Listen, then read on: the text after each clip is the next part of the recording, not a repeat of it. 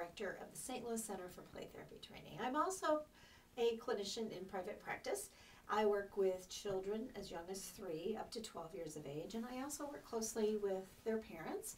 And sometimes we use play based family therapy to um, help solve problems, help families feel more connected. One of the techniques that I like to use with families is one I created myself, and it's called the family quilt. I have a sample of a quilt that I like to bring in and share with families. I love old quilts. Uh, grew up in families where quilts were pretty much a mainstay.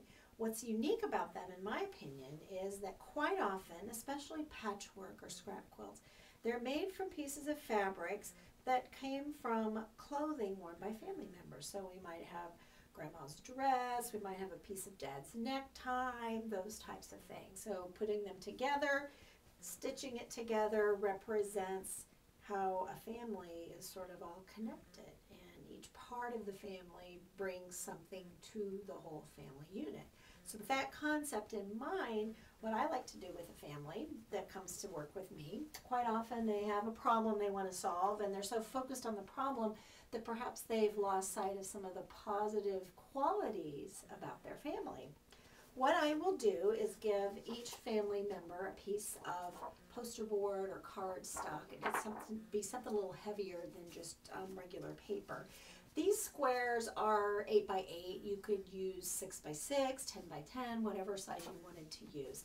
So let's say we had a family of four, so I would give each person one. If you only had a family of two, perhaps each person could do two, or a family of three, each person could give could do two. You want to be able to have an even number of uh, amount of squares to um, tape it together once they've decorated their quilt squares to make their family quilt.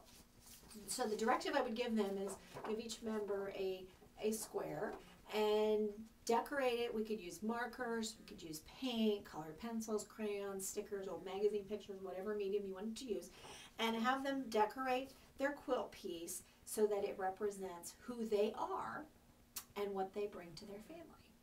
So each person works on theirs independently. After they're finished, we would get down on the floor and we would, much like you would put a puzzle together, we'd line all the squares up face down on the floor. Once they're all in position, take some uh, shipping tape, clear tape, or masking tape. Regular um, adhesive tape is probably not going to work. You're going to want something a little bit wider. And then um, tape all of the, the squares together. So a little difficult to show you here, but just to kind of give you an idea, if the designs were on this side, we would lay it face down on the floor and then put the piece of tape on the floor to connect them, which is really easy to do if you lay it on the floor or even on a table, if they're all connected. Once you get them all taped together and enlist the whole family to do that, then we flip it over and let's say it was the Brown family would say, let me introduce you to the Brown family quilt. And we turn it all over and each person shares what they put on their particular square. Other family members can make comments, they can ask questions. Once they've all shared their square, then I would ask them if someone walked into the room who didn't know anything about your family, what would they learn about your family by looking at your family quilt? Or if your quilt had a title, it had a name, what name would it be? What would they give it?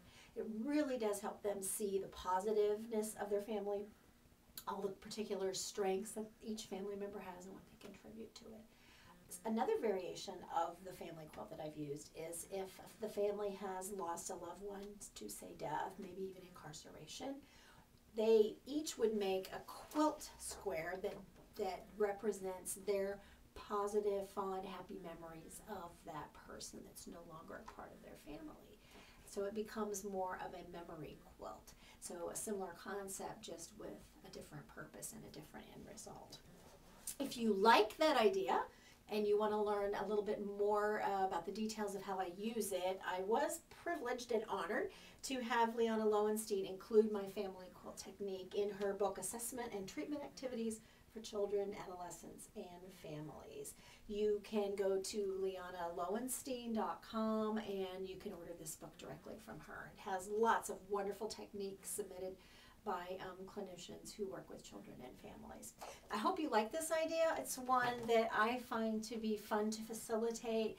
I've always had really positive responses from families that have used it. And once it's finished, um, they get to take it home with them. And I ask that they hang it in a place in their home where everyone can see it and they can um, talk about it from time to time as well. And with client's permission, um, it's in my informed consent for treatment. I do um, ask them if it's okay if I take a picture of it because I like to include that photo in, in their clinical notes. It helps me kind of be mindful of the family as well. And sometimes we can pull that photo out and maybe revisit it from time to time if that would be relevant in the course of work that we do with the family.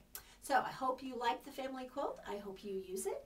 And I hope you connect with me. You can find me on various social media platforms, but the easiest way to find me is go to stlplaytherapy.com and all the social media buttons are on there. I hope to connect with you soon.